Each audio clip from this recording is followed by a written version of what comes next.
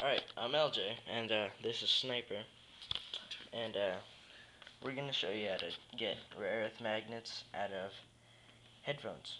What you will need, you'll need a pair of headphones, these used to be headphones, took the other ones out, um, these really old kind, you'll need, and some pliers, that's all you need.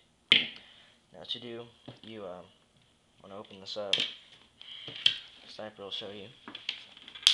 Take it off. Yeah. You just break it.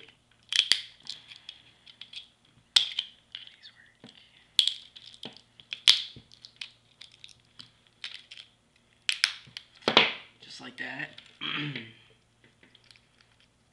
pop that out. There you go. That's your magnet is the golden part right in the middle. Now they come in different sizes, different shapes. See this one's different color, like aluminum. These are these are golden. Um, and uh, take them out. This is another. This is the other one. Um, I take them out.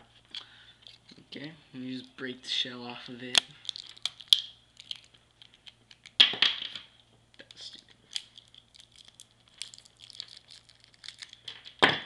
There you go. And there's your magnet. And we have different kinds here. We have, we have these kinds. We have these. We have all, and this is what you do after you take them out of the casing. They're little, and there's two of them put together. I don't know if you can see the line in the middle. And uh, these are super strong rare earth magnets. What you can do with them, you can uh, pick up really big stuff with them. For instance, a spray can. Not very good, but